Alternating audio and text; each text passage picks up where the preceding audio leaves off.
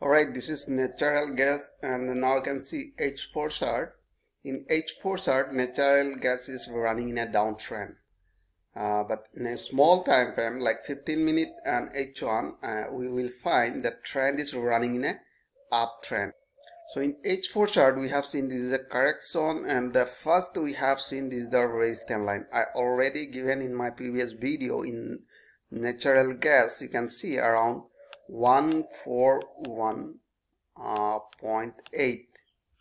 so we have seen this is a strong resistance are there and first resistance was around 137 or you can say almost 9 yeah.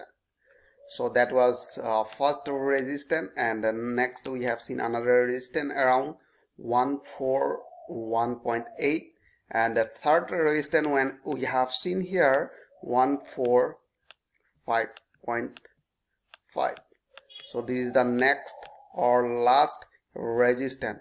Once they break this level around 145.5 so we'll consider that trend already has changed and they are running uh, they're ready to run toward the upside. All right. Uh, one 5.5 is the last resistance level.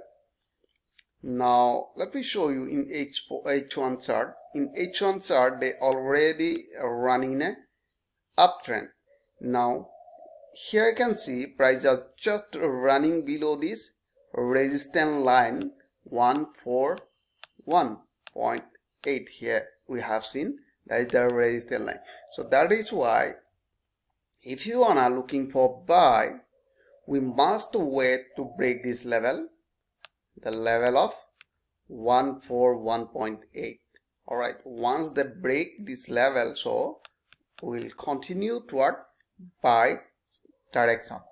So let me show you in 15 minutes how they're behaving. Now we can see it's called behavior, market behavior.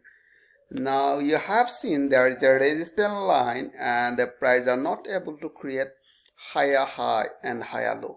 From this area they are uh, you can see this is uh, act as a resistance line. So in between this area we have seen there is a gap little more.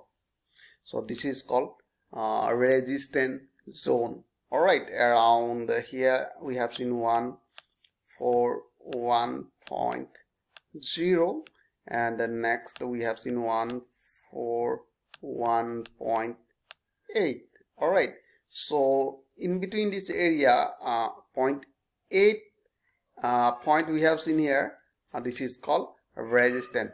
So we must wait to break this resistance line. Once they break this resistance line so definitely we'll place our buy order. So i hope you enjoyed this video. If you like this video please like and subscribe. Thanks for watching